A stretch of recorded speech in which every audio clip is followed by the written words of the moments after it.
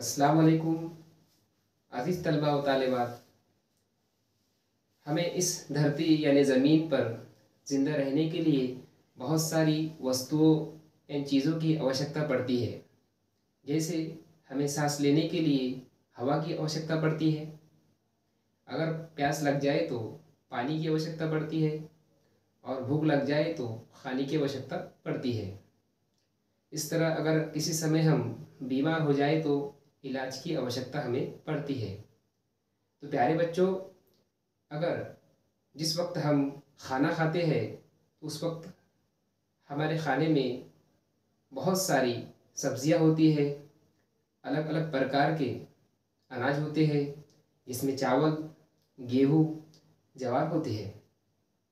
गेहूँ, चावल, ये जवार हमें किसान रात दिन खेतों में मेहनत करके हम तक पहुंचाते हैं। जैसे कि आप पीछे स्क्रीन पर देख रहे हैं। इस तरह से किसान रात दिन मेहनत, मशक्क़त करके हम तक ये फ़सलें पहुंचाते हैं। खेतों में तरह तरह की फ़सलें होती हैं, जिसमें एक फ़सल धान की भी होती है। तो चलिए बच्चों, आज हम आपकी इस छठी कक्षा से, दूसरी इकाई से बाली है धान की इस पाठ को पढ़ेंगे